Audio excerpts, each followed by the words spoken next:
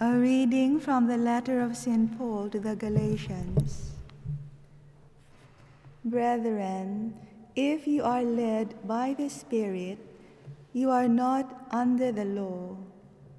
Now the works of the flesh are plain immorality, impurity, licentiousness, idolatry, sorcery, enmity, strife, jealousy, anger, selfishness, dissension, party spirit, envy, drunkenness, carousing, and the like. I warn you, as I warned you before, that those who do such things shall not inherit the kingdom of God. But the fruit of the Spirit is love, joy, peace, patience, kindness, goodness, faithfulness, gentleness, self control. Against such, against such there is no law. And those who belong to Christ Jesus have crucified the flesh with its passions and desires. If we live by the Spirit, let us also walk by the Spirit. The word of the Lord.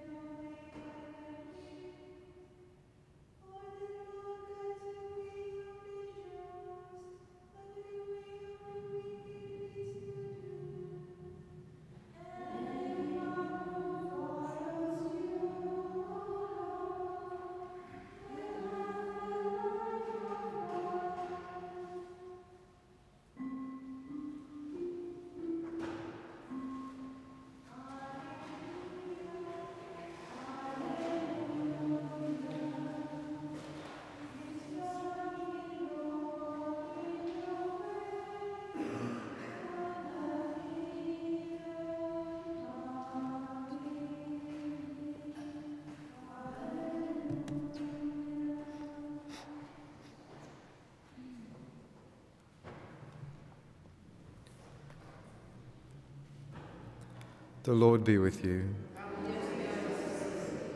A reading from the Holy Gospel according to Luke.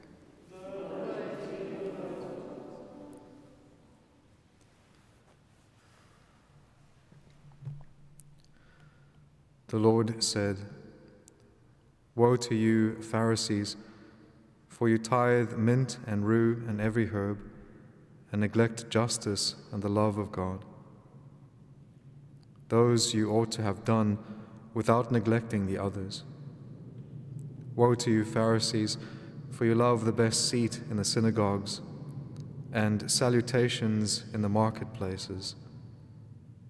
Woe to you! for you are like graves which are not seen, and men walk over them without knowing it. One of the lawyers answered him, Teacher, in saying this, you reproach us also. And he said, Woe to you, lawyers also, for you load men with burdens hard to bear, and you yourselves do not touch the burdens with one of your fingers. The Gospel of the Lord.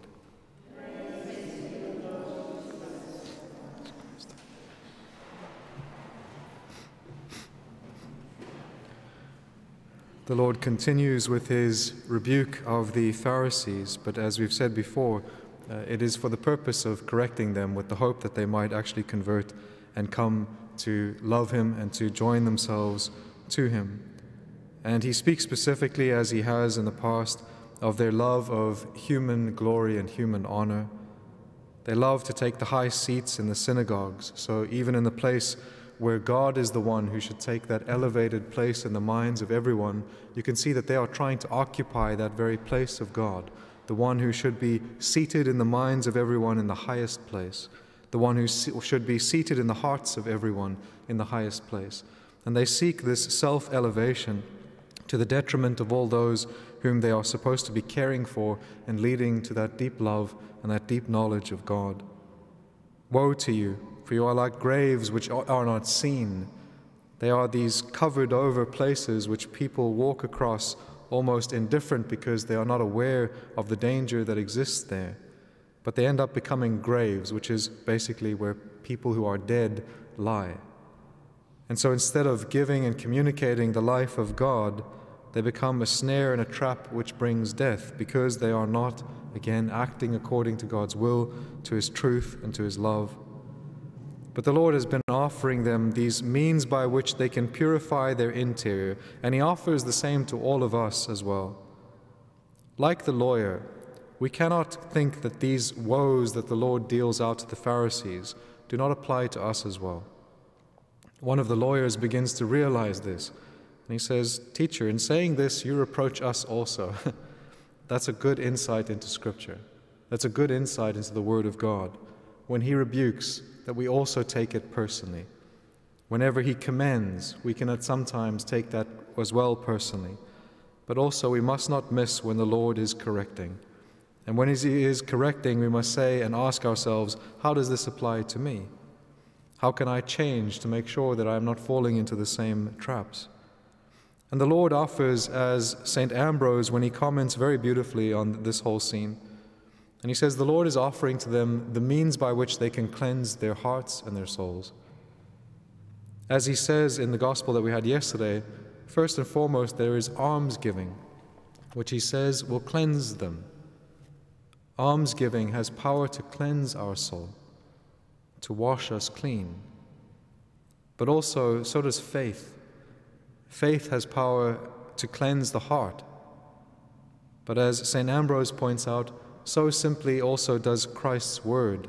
As he says in John's Gospel to his disciples, You have been made clean by the words which I have spoken to you. So, by the reception of God's word, by prayerfully considering it, by giving alms, we are cleansing ourselves interiorly through these actions. What also St. Ambrose goes on to say, which I think is very beautiful, he says that when the Lord is rebuking the scribes and Pharisees, because they focus on the minutiae with great intensity and they neglect the higher things. And he says you should do these higher things without neglecting anything. Do all of them, but get them in the right order. And he says you should not, as well as they do, neglect justice and the love of God. With some, interpreta- with some interpretations, in translations, it is neglecting justice and mercy. And what St. Ambrose says is that to neglect justice is when we do not eradicate from our lives the things that St. Paul was speaking about in the first reading today. All of that list of different sins and vices that can creep into human life. And when we neglect justice is when we neglect to uproot these things from our soul. But he says also we neglect mercy when we first and foremost do not have mercy towards ourselves. He says we cannot be merciful to others if we are not merciful with our own selves first. And so St. Ambrose says, Go deep into your soul and into your heart, and there you will find that you are begging for God. And he says, To this beggar that is interior, give everything that he asks for, which is to be fed by God, to be nourished upon God, to live by God's grace. And in doing this, we have mercy to our own selves. And then we can go out and have that same mercy towards others. And that mercy towards ourselves is that we give to our souls God's grace through the sacraments that we nourish our souls upon God's word, which is that beautiful manna from heaven, as it comes as He comes to us through the scriptures, but also here in the Holy Eucharist, as we receive Him who is the nourishment of our souls.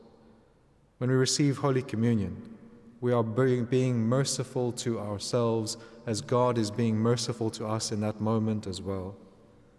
As He gives Himself for the nourishment of our souls, it is mercy to ourselves when we receive Him, when we receive the medicine of our souls, the one who is able to save us, and the nourishment of the spiritual life. Amen.